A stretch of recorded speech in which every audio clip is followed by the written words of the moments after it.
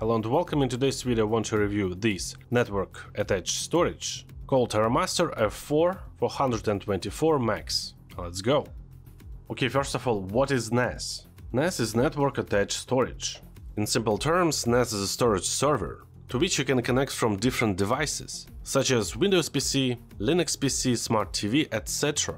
It would be very useful for home and business users.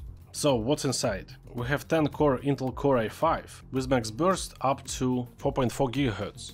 The maximum support memory is DDR5 64GB. We have DDR5 8GB memory which is already installed. And we have integrated Intel graphics. The maximum resolution is 4K and 60 FPS. The package has arrived. That's how it looks. Let's see what's inside. We have tutorials and instructions, a discount code, a power supply, an Ethernet cable, mounts for HDD I think, another guides, and the server. That's how it looks. What about connectors? We have power supply connector, USB Type-C connector, USB 3.1 connector, so we can even connect a super fast USB thumb drive to this server. We have two 10 gigabits LAN ports and HDMI connector.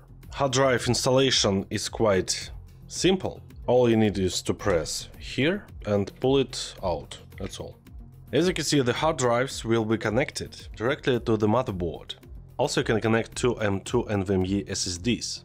Okay, but how we can install an NVMe SSD? So very simple, all you need is to remove these screws and then remove the top case, like this. And now we can simply install an NVMe SSD. This one, for example, this is one of my test NVMe SSDs. And of course, if you want to use 2.5 SSD, you can install here as well. Something like this. I have one of my test HDDs. Let's try to install it. I found another one. Let's install it too. Okay, let's turn it on already. Now we need to download the software. All links will be in the description. I will use my main PC with Windows 11 installed, so we'll need to download this file. Now we must install the software. Next, next, next. Starting the app, and as you can see the app found our server. Now all you need is to click on it, and the setup begins. Now press start, now wait until it initializes. All data on your disks will be erased, so be careful here and then press confirm. Now we need to sign the agreement. Here you must name your device, for example let it be TerraMaster. And here you need to type your username and the password. Then press next. Now you will need to add an email. If you can't receive the verification code, you can skip it. It has TOS 6 operating system. That's how it looks. Here you can reboot or shut down your server. You can install applications. You can create backups, control panel, other features, etc. So let's see how it works. You can now go to control panel and select storage pool. As you can see it creates a RAID using my two hard disks with 320 gigabytes of capacity. And now it's synchronizing. Okay, the sync is completed.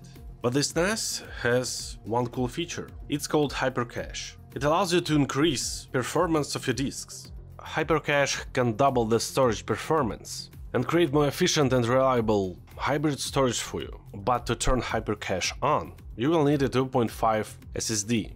I will use one of my test SSDs for this. To create Hypercache, you need to click here, select the volume, and as you can see I have 2.5 SSD with 120 gigabytes of capacity. So just click next. All data on SSD will be erased. Confirm. We have a balance mode and a read-write mode. Using a balance mode, the data writing speed will be reduced to a certain extent, but the reading speed can be improved. Balance mode can avoid the risk of data loss. But when you use a read-write mode, the data will be written to the SSD cache first, and then written to the disk later. So the data may be lost once the SSD fails or unexpectedly loses power. I will use a balance mode. Then I click next and confirm. That's good, it's working well, now we can create a shared folder to access our files from another computer. To create a folder you need to press here, then name your folder. For example, let it be NAS files. Here you can select the volume, in my case it's volume 1, 500 gigabytes, then press next. If you're afraid of stealing your data, here you can encrypt it. I don't want to enable encryption, so press next. Here you can set permissions. I will leave it by user. Then press next.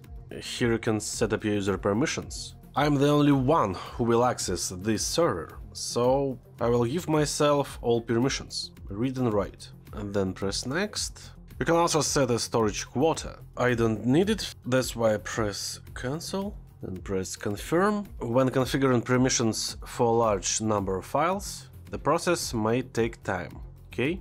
Now for example we have a PC with Windows 11 installed. Go to network and as you can see here we have our server.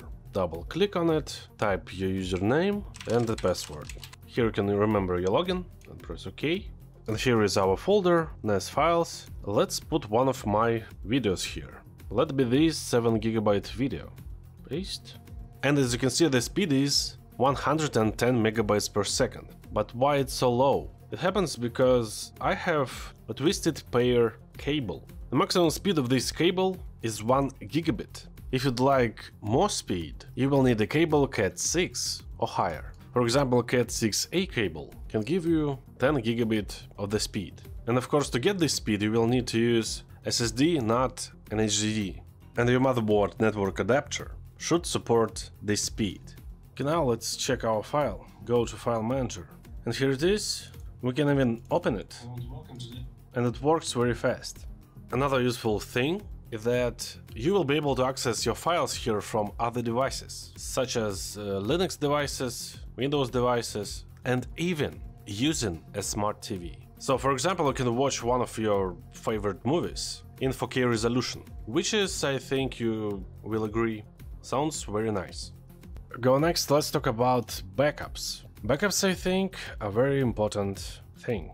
We have a huge amount of backup apps here. For example, using centralized backup, you will be able to create a full backup of your files in Windows. To do it first you need to install it here on the NAS. Then click Add Device, select Windows PC and then click Download Centralized Backup Agent. This app must be installed in Windows. After this you can backup your files in Windows.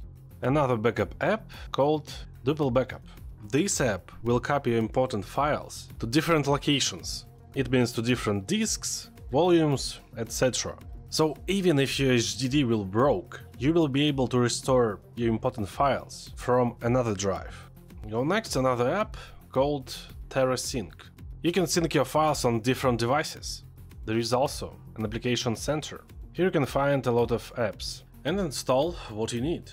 In control panel you can check your processes, and it has a resource monitor. That's all, as you can see we have all features for home users and business users. If you're interested, all links will be in the description. Write in the comments section do you have your own server. If you enjoyed this video press the like button, leave a comment and subscribe. See you later, bye.